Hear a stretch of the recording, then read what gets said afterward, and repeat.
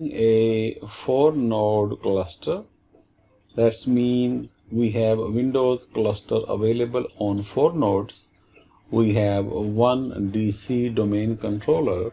We have all four members under this domain which are member servers and i am running sql on all of these four servers so you can see from the middle pane so where I am going to show you how to access these uh, four servers.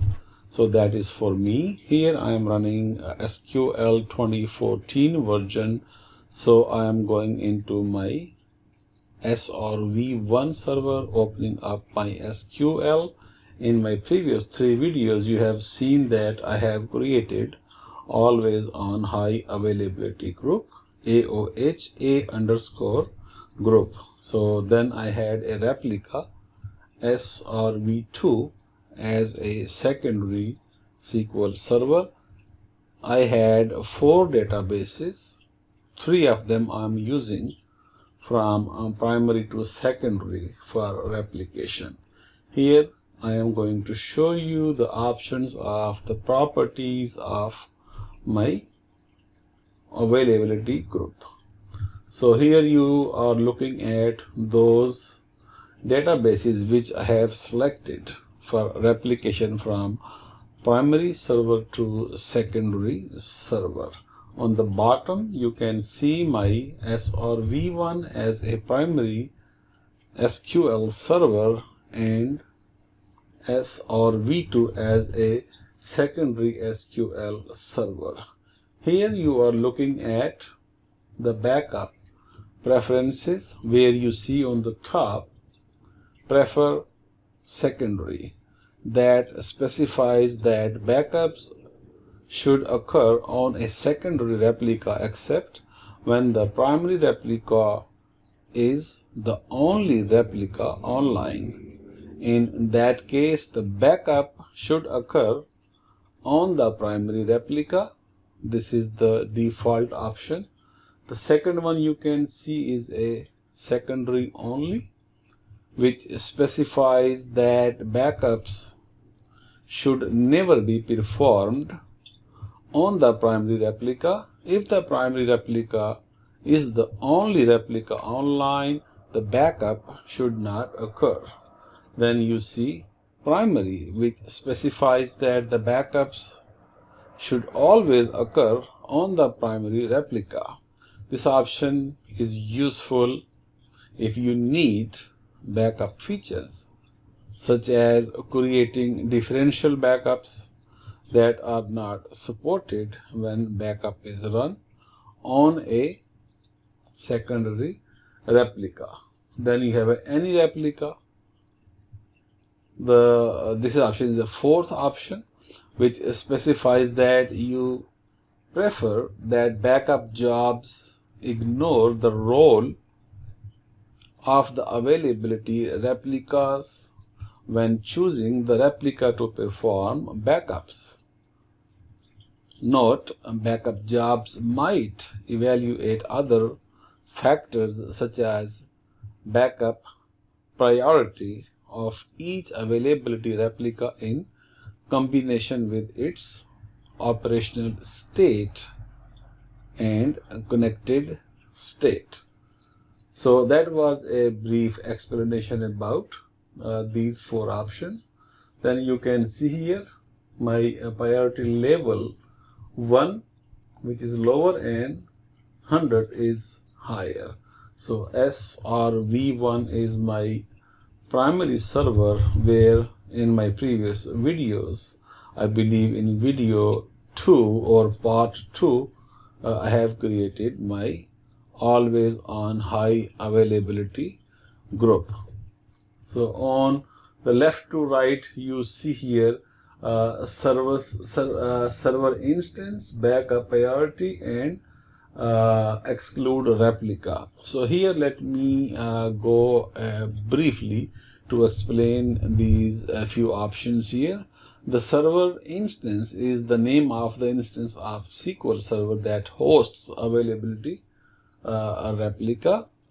then we have a backup priority uh, lowest is 1 highest is 100 which specifies your uh, priority for performing gap backups on this replica relative to the other replicas in the same availability group as I created on my primary server. The value is an integer in the range of 0 dot dot 100 dot 1 indicates the lowest priority and 100 indicates the highest priority as you see in this box.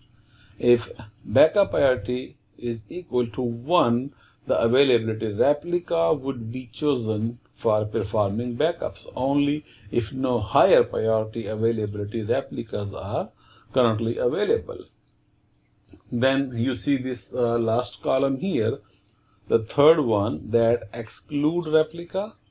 Select if you never want this availability replica to be chosen for performing backups. This is useful for example for a remote availability replica which you never want backups to fail over.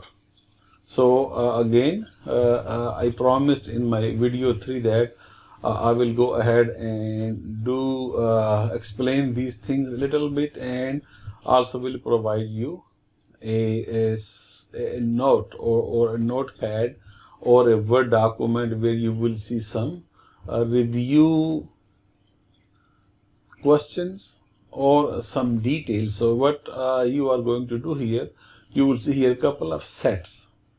So for example i can quickly go over or actually I don't have to go over uh, you simply can go and pause my screen and read these all questions because you might want to know for your development environment or for your production environment. So uh, instead of me reading this all to you I am uh, leaving this for up to you here you simply can can go ahead and just uh, pause this screen review these questions and the answers and you have these uh, very uh, well organized uh, questions and answers which most likely I believe everybody who is an SQL DBA uh, should have these questions. So uh, A indicates the answer and numbers are indicating the questions. So you simply can go uh, again. you don't have to rush. I would say simply just pause the screen in this way you can uh, save your own time and I would save my recording time so because uh, this thing can be done actually the way you actually can do uh, as I uh, decided for you to do it. So uh, again uh, you simply can go and watch my video number one video number two and look at that uh, how I did it. I had three uh, databases and you can directly connect from same SQL first uh, server to the second one. Now you see on the top is my first SQL server which is primary on the bottom is secondary. If you expand always on high availability group you will see exactly what you see in primary. So that's what replica is. Uh, this uh, is a, a very a good scenario. Uh, if anything happens to my SRV1 I don't have to be worried about it because SRV2 is available up and running and this is my listener. My listener is uh, basically uh, using a static IP address. So when I created this listener uh, a host record was created. So this is the list of my IP scheme. You saw this in my uh, first page as well uh, initial page on my each video I am posting this uh, so I changed my listener name. I just a little bit misspell is a my listener. So uh, anyways uh, I do have another video which I'm working on which is video number five that will explain a little bit more about this concept uh, and also will uh, clarify if you have any confusion on that one uh, I will try to add whatever I can under the description so you can take a look on that. So my listener basically is a unique name. It wasn't unique. I showed you in my previous videos but I have to make it unique. So here uh, I think I'm well all uh, set uh, in this scenario. So a uh, few more things to come. I will show you on that one uh, this is my cluster. So on SRV1 I have a management console where I'm showing you here. This is a four node cluster. Uh, you can expand your secondary servers as I did in my uh, video number two. Or three where I added my fourth server as well. Then I removed it. So these are my networks cluster network one up and running. So I uh, do have all nodes up and running. So uh, so far everything is well and good. In this way you also uh, learn in this uh, video number one about uh, installing or setting up failover clustering. So here just uh, properties of my always on high availability availability group so this is the only uh, sole role which i am running right now on my uh, under my role so because uh, that is what I have uh, right now and I hope you would like this video. See you in my video number 5. Bye.